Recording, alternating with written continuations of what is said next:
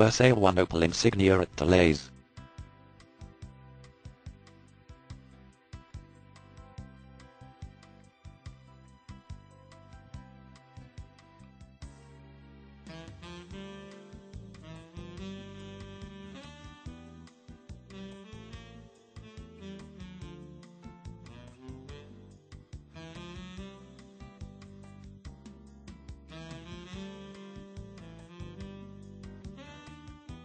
For more details, click on the link in the description.